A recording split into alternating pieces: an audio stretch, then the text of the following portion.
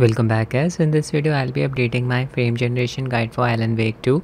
We'll show you how to use DLSS 4 upscaler in conjunction with XeSS or FSR frame gen.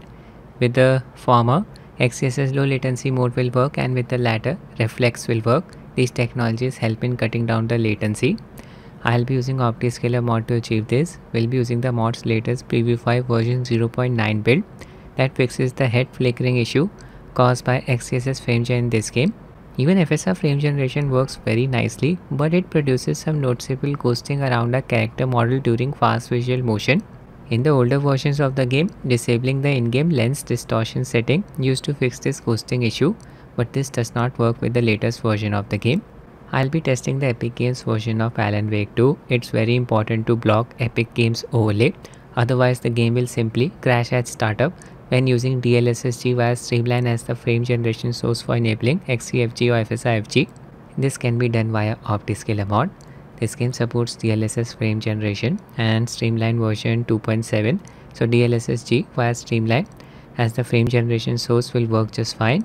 We won't be required to deal with hotfix. I'll be testing the game on my Windows PC that has a Ryzen 50 700X 3D processor and an RTX 2070 Super GPU this guide will work on any PC with an RTX GPU. OptiScaler mod build version 0.9 preview 520251031 is available on OptiScaler's Discord server. We'll give the link to their Discord in the description of the video. Just click on the .7z link here. The game comes with an older version of DLSS 4 upscaler and DLSS auto exposure setting is disabled by default.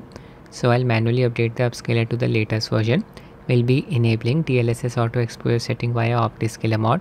This setting helps in reducing ghosting around the objects in the environment, also fixes the texture shimmering effect produced by shiny objects in the game.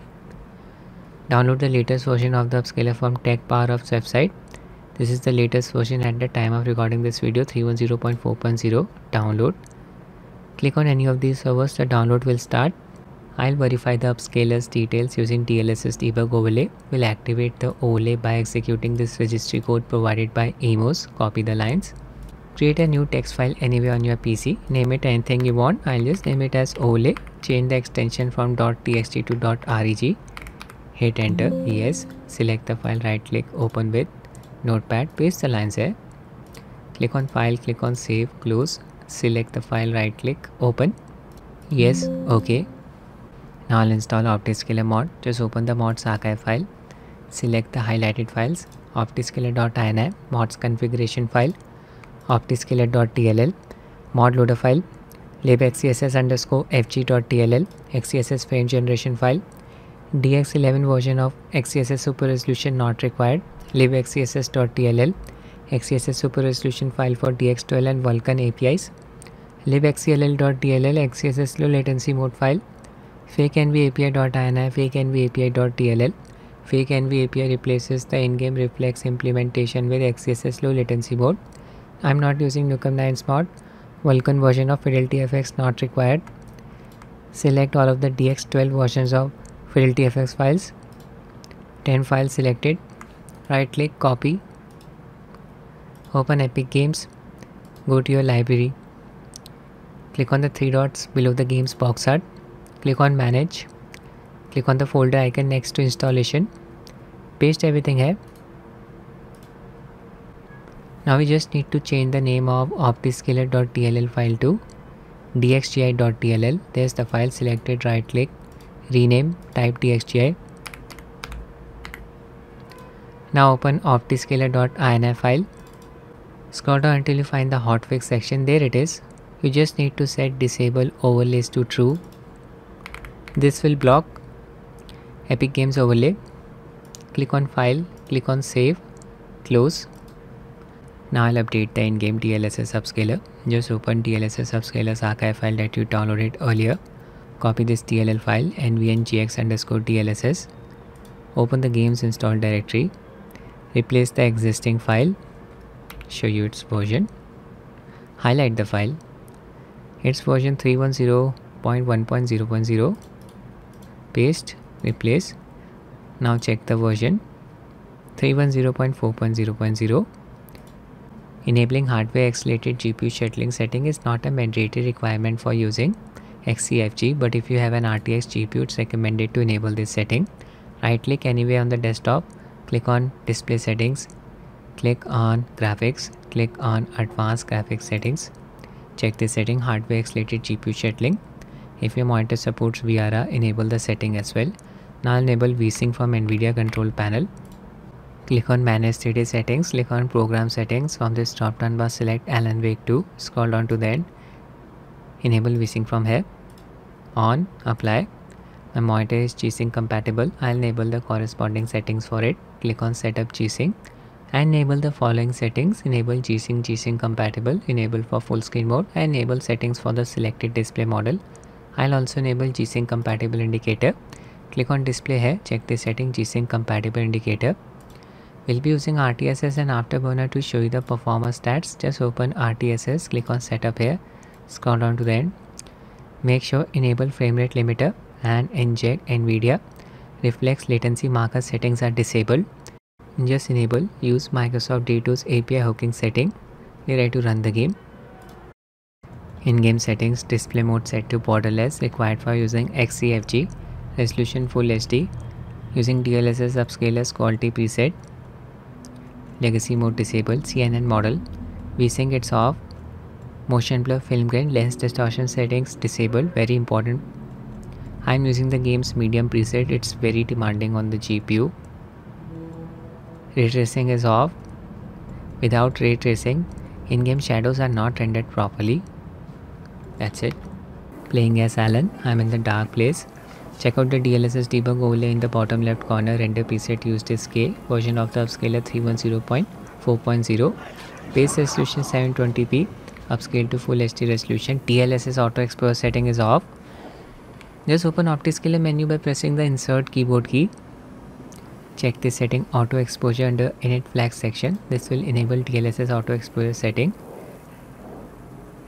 It's already the transformer model of DLSS 4 so we don't need to change the render preset override setting from OptiScaler frame generation disable for the time being I'll just enable OptiScaler's performance overlay expand FPS overlay section check the setting FPS overlay enable full plus graph scale 1.3 DXGI spoofing is off. Input in-game DLSS upscaler, version of DLSS upscaler.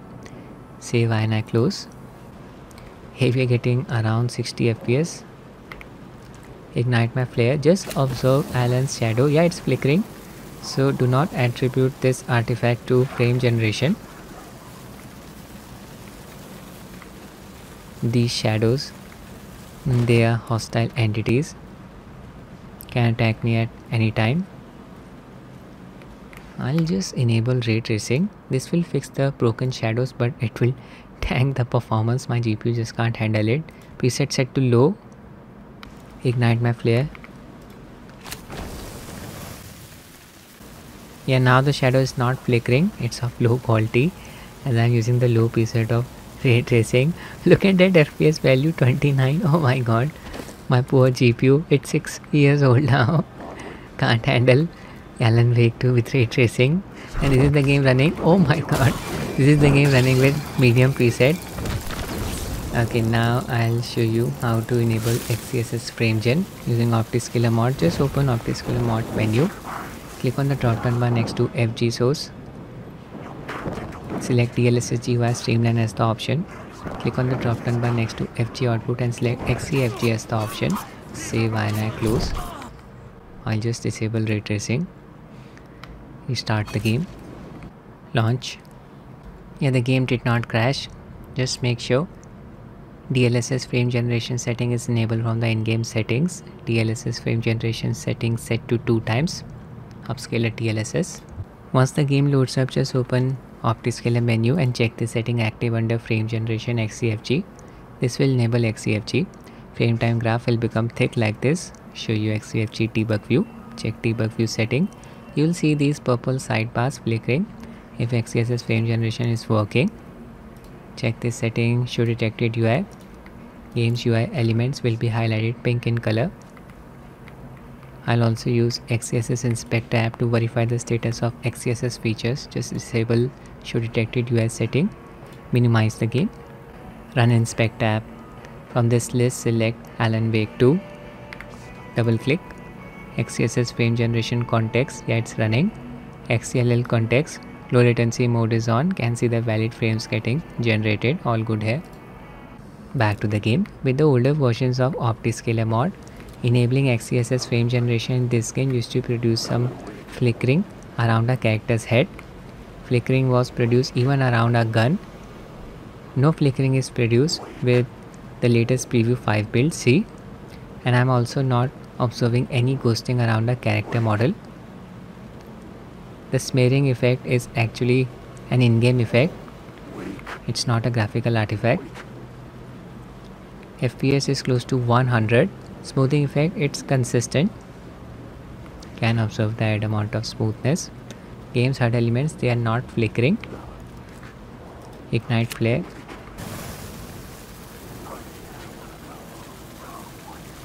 your character's shadow is flickering but it's not due to XeFG this flickering effect is present even without frame generation I'll test the game in another area now I'm in Bright Falls playing as Saga Anderson much better visibility here moving the camera around Saga's head it's not flickering.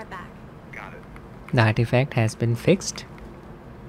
Look at that VRAM uses 7.8 GB and this is the game running on medium settings. Okay now I'll show you how to use OptiScaler FSR frame generation. Open OptiScaler mod menu make sure DLSS G via Streamline is selected as the frame generation source. Click on the drop down bar next to FG output and select FSR FG as the option. Just disable XeFG uncheck active setting click on save and close. Restart the game. Launch. Again make sure that the in-game DLSS frame generation setting is enabled. Set it to 2 times. Upscaler DLSS. Once the game loads up just open OptiScaler menu and check this setting active under frame generation FSR FG. This will enable FSR frame gen.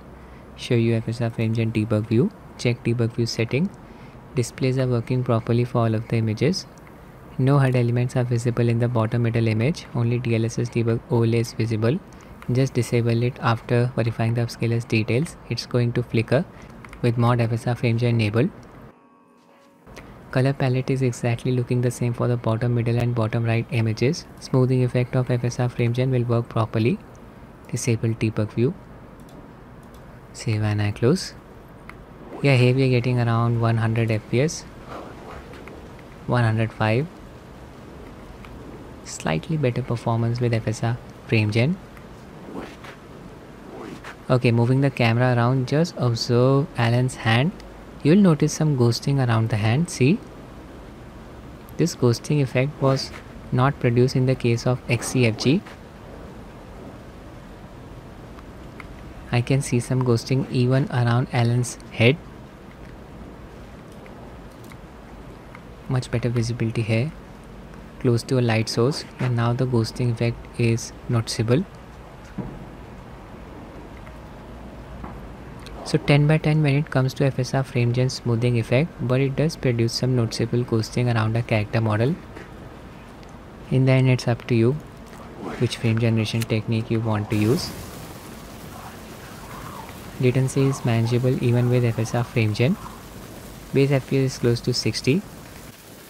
With the flare on you can very easily see the ghosting around Alan's character model before ending the video, I'll show you how to disable DLSS debug overlay.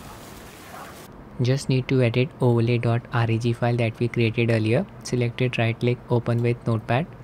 Replace the number 4 here with 0. Click on file, click on save, close. Run this registry file, right click, open. Yes, okay.